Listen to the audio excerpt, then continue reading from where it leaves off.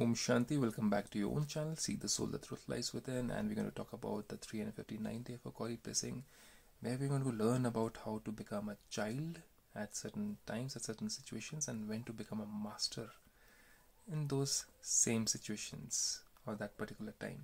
Let's find out what is the difference between being a master and being a child so as to be successful in any kind of situation.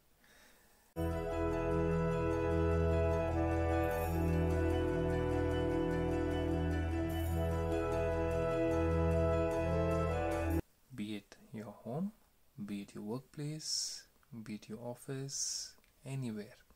So, at the heading, Godfather says, May you be carefree. Now, this, if we apply in a life, we'll become carefree in a life and double light by going up and down the ladder of being a child and a master.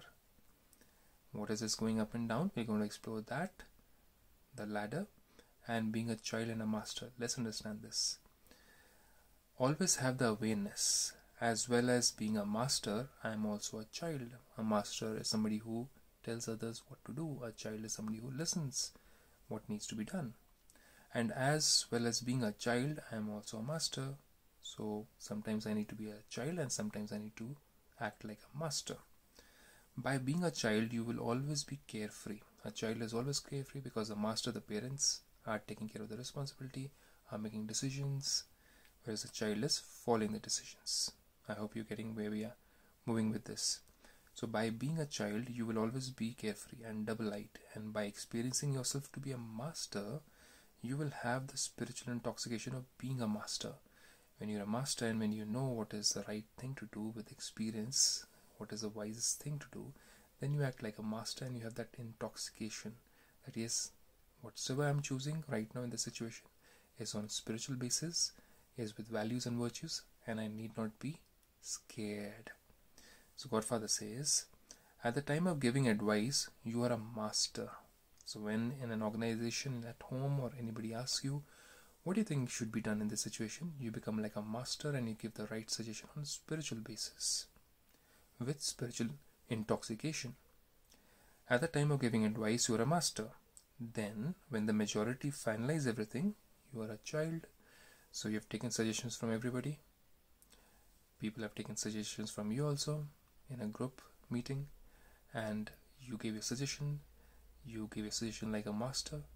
And when the final chance came when everybody decided what is the right decision to be made what is the final decision one should take that time you become a child. That time you don't force around no my idea was the best. Why don't you take my idea? I'll show it to you. See you'll all fail if you don't accept my idea you're going to go down the ladder no, that time you become a child. That time, let not the ego, let not the jealousy take over. So God says that's how you'll keep the vibration, keep the atmosphere of the organization pure, and teamwork will happen. Otherwise, if you try to become a master in that situation, a lot of jealousy, a lot of problems, trouble, disparity, inequality, and many negative things will start flourishing in that organization or it could be your own home also, your family also.